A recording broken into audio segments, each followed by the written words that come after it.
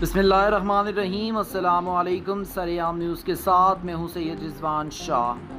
थाना कुकराली के गाँव जंडाला में एक और यतीम हवा की बेटी अपने ही रिश्तेदार की हवस का निशाना बनती रही। चार माह की हमला होने पर सगी फुप्पो ने तशद करके घर से निकाल दिया।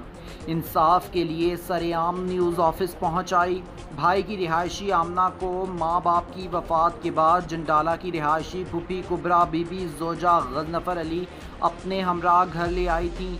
फुफी का बेटा अरसा छः माह से ज़बरदस्ती ज़्यादती करता रहा, डराता रहा कि किसी को बताया तो मैं तुम्हारे दीगर बहन भाइयों को भी जान से मार दूँगा।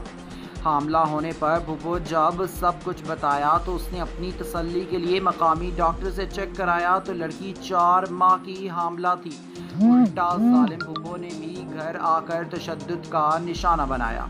कहा कि खबरदार, जो मेरे बेटे का नाम लिया और एक कमरे में बंद कर दिया। बाद अजा लड़की के भाई, जो बसिलसिला, रोज़गार, दूसरी जगह क़याम पजीर थे, मिलने आए तो पुप्पो ने बदचलनी का इल्ज़ाम लगाकर कहा, इसे मेरे घर से ले जाओ और जाकर इसका गन साफ़ करा लो। मेरे बेटे का नाम किसी के आगे लिया तो सबको जान से मार दूँगी। भाई बेबसी की तस्वीर बने इंसाफ के लिए सरेआम न्यूज़ की चौखट पर पहुँचाए ज्यादती का शिकार आमनो और इसके भाइयों का कहना है, हमारे साथ इंसाफ किया जाए। इनका मजीद कहना था माँ बाप के मरने के बाद सगे ताया ने जायदाद पर कब्जा करने के लिए ज़बरदस्ती से घर से निकाल दिया था और हम दर दर की ठोकरें खाने पर मजबूर हो गए। हमें इंसाफ फराम किया जाए और हमारी जायदाद पर नाजायज़ कब्ज़ा ताया से कब्ज़ा भी वागजार कराया जाए।